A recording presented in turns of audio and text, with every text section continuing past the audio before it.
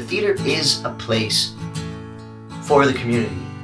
You know, it is a place of congregation. It's a place where we could come together and listen to the stories of the world in this perfect peace. It's a place where we can educate by offering perspective, enrich the community, and create extraordinary change. Yes Theatre to me means that if you believe in what you're doing and you find other people with good hearts, anything is possible. Putting on a show with the most people of color that have ever been on stage before in a town where that's never happened is possible because you believe it is. And that kind of like power of of believing in yourself and believing in your community is huge for me and has changed my life in ways that like I'm still not even fully aware of yet.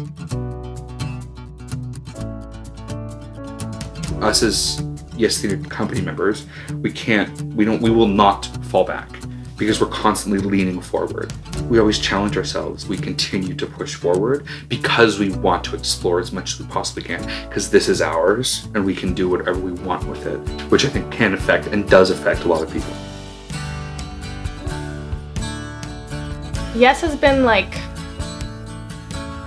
an instrumental part of me coming into my own and I'm gonna cry. I don't think I knew that I could love as deeply or like care so much about people and care so much about the work that we do together and the impact that it has on people until I came into this company. I hadn't experienced friendship and community and support like this until I came into this company.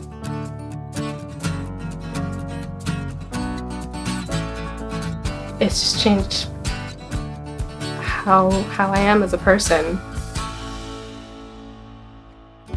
It's been 10 years full of love, of success, of many challenges, of a lot of growth.